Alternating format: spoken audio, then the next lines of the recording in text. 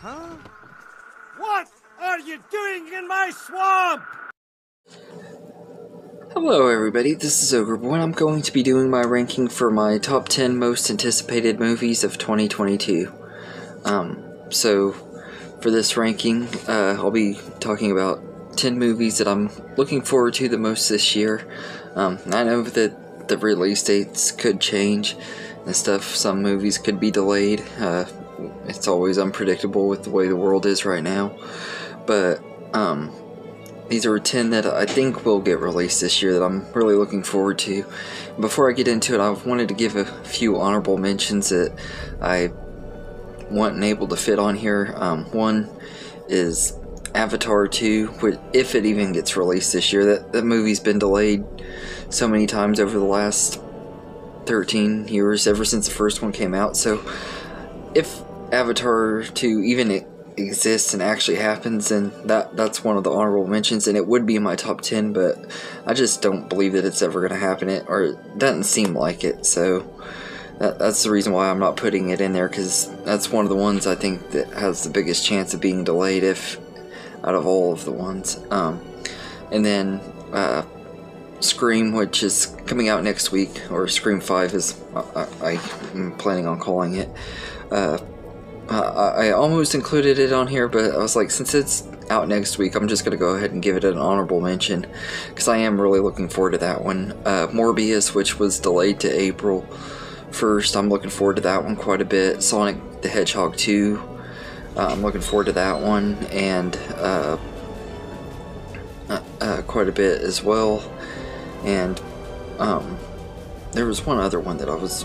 Oh, yeah, Black Panther Wakanda Forever. I'm really curious about that one. I, I don't know how much I'm looking forward to it, but I'm curious to see what they do with it and everything. So uh, those are my main honorable mentions. So I'm going to go ahead and get going into the list. Coming in at number 10 is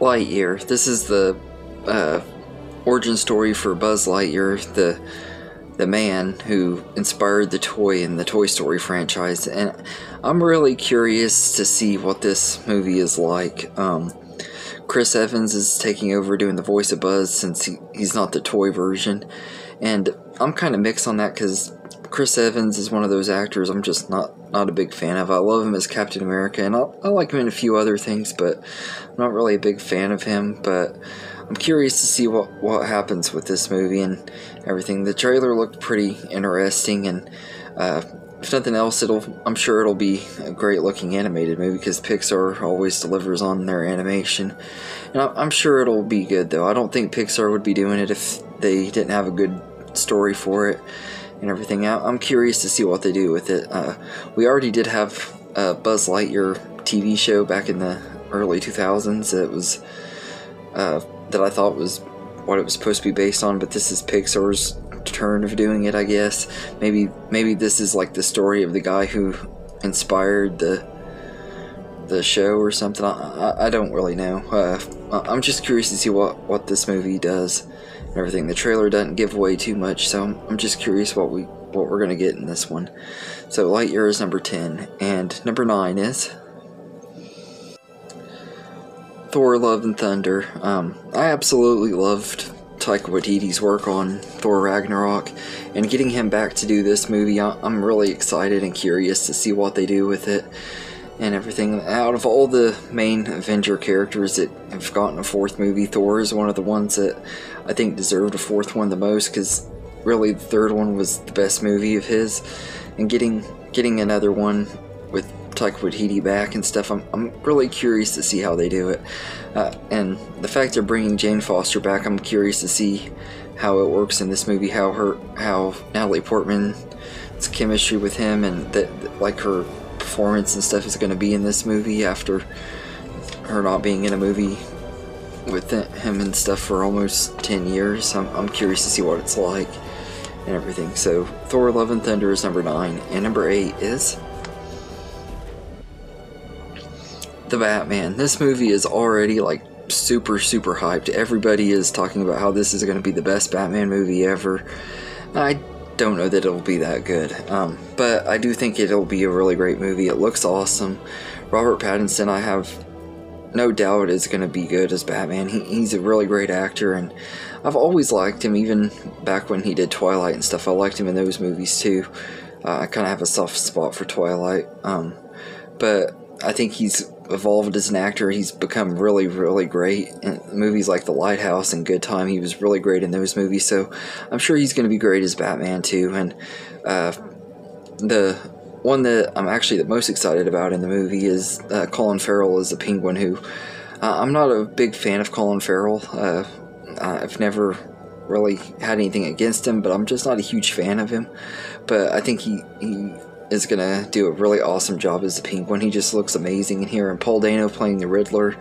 I, I love that too because he's like a really underrated actor, and I love like the vibes that the trailer is giving us. It kind of kind of gives you a Saw vibe to it, and I love that like the mystery aspect of it, and that Batman's gonna be a detective and stuff, and the brutality that he's gonna be giving on on these characters and stuff. I, I'm really looking forward to it and everything. So the Batman is number eight, and number seven is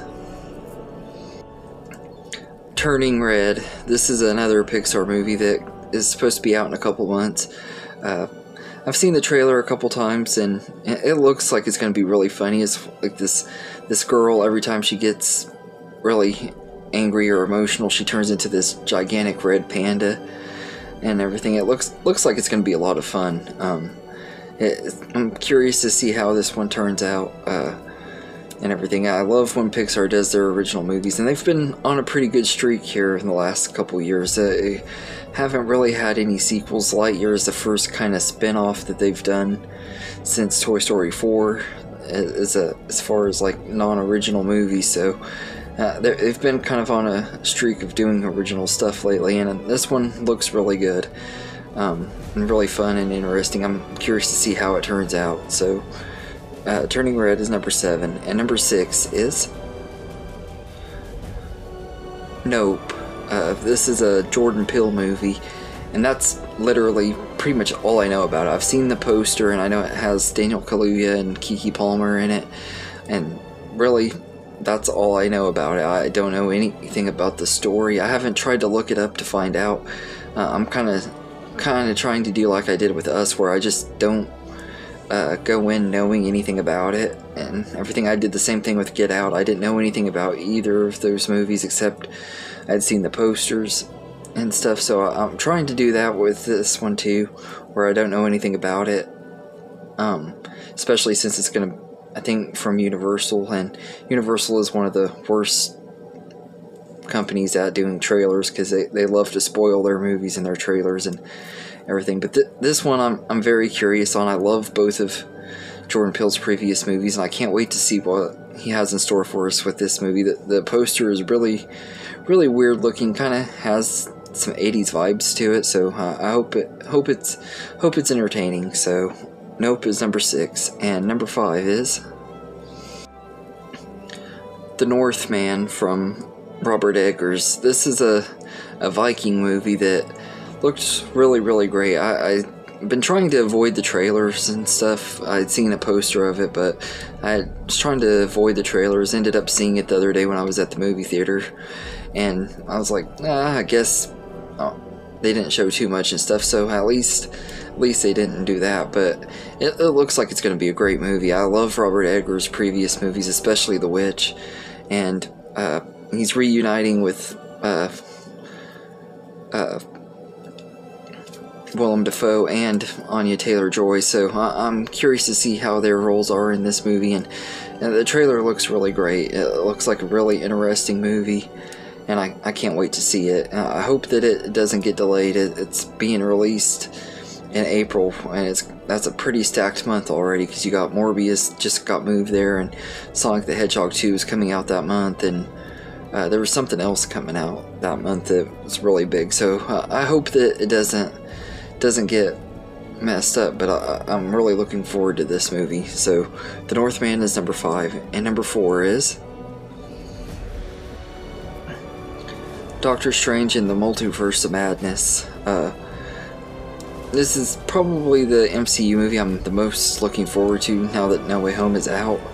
Um, until we get find out more about when we're getting more Spider-Man movies, but the, this is directed by Sam Raimi, who directed the Spider-Man trilogy trilogy that is like my favorite superhero trilogy of all time. So, getting to see him return to the superhero genre has me excited enough as it is, and everything. And I'm not the biggest fan of the first Doctor Strange movie, but I'm very excited for this movie. That uh, the the trailers look great. You're getting Wanda back in here, possibly becoming the villain of the movie, which is going to be insane. Um, I've been hearing a lot of speculation about different characters that could pop up in here um, from previous Marvel iterations, like the uh, Fantastic Four and some of the X Men characters, and there might even be uh, just guessing maybe Ghost Rider. It'd be awesome if they got Nicolas Cage to come back in here. I don't know that they will. They probably won't, but if they do have him like as a cameo, that'd be kind of cool. Um, but I, I, there's been rumors that uh, Hugh Jackman and Patrick Stewart are going to be returning as uh, Wolverine and, and, Professor X. That'd be be kind of interesting. I, I, also hope that maybe we'll get to get appearance of Tobey Maguire and Andrew Garfield again uh, in this. I think that'd be awesome to get to see them in here. Uh, but yeah, so I'm really looking forward to this movie. I'm really curious about it. I've seen the one trailer. I don't know if I'm going to watch any more trailers for it. I, I might. And Disney's really good about not spoiling too much in the Marvel trailer, so I'll probably end up watching the other trailers. But I am looking forward to this one quite a bit. So it's number four. And number three is. Halloween Ends. I, I absolutely loved Halloween Kills. I know that movie was really mixed on the fan reception. Some people loved it, some people hated it. Uh, I can understand the criticism that that movie got, but I actually really like this one. I, I think that one being uh, the middle chapter, kind of, they kind of wanted to get uh, on with the fan service and and have the most brutal kills and stuff in that one, and focus more on the story in this one. And I think think that's how the trilogy should go. The first one set it set it up really well. The second one has the most action. The third one be a good way to conclude the story. Hopefully, it is a good way. I know Jamie Lee Curtis has said that it's going to make a lot of people mad and everything, so I have no idea what they're doing with this movie, but I really hope they, they do it, it good enough because so far both of the movies in this trilogy have been really great and I've loved both of them, so hopefully this one will be really great too. Um, I, I, really enjoyed it. I, I kind of have speculation of what's going to happen in this one. I, I think Laurie is gonna die for sure, and I, am betting Michael might die too. Um, I don't know that he will, but uh, that or everybody's gonna die. Like all the main characters are gonna die, and Michael's gonna somehow survive and be be just get away or something. I, I don't know. I'm, I'm curious to see what they do with this uh, and everything. But Halloween ends is number three, and number two is Jurassic World Dominion. Now, I absolutely loved the first Jurassic World movie. I thought Jurassic World Fallen Kingdom was just okay, not not super great. Uh, I think it kind of has the same things going for it, like the Halloween Kills did for a lot of people. It, it just the way it left off and stuff on the cliffhanger, and the movie just kind of took its time getting to the point and stuff at the end of it. I think that it, it could have been done differently, but uh, I'm looking forward to seeing the dinosaurs and humans interacting and stuff now that the dinosaurs are stuck on the mainland and the fact that we're getting the original characters from the first movie back in here. Uh, Sam Neill and Laura Dern and Jeff Goldblum are all three coming back to play their characters from the first movie is awesome. I'm really hoping we'll get some surprise appearances from other characters from the franchise. Uh, except for maybe the Kirby's from from Jurassic Park 3. I kind of hope we don't see them, but it'd be kind of cool if we got to see like Lexi and Tim and maybe uh, see Ian's daughter from and Julianne Moore's character from The Lost World. Maybe bring Vince Vaughn back. I doubt we'll get that lucky, but uh, I'm curious to see what they do with this movie and everything. And it's going to be a lot of fun, I hope. Uh, hopefully, this one will be more on the same level of the first Jurassic World and not Fallen Kingdom, but I guess we'll see.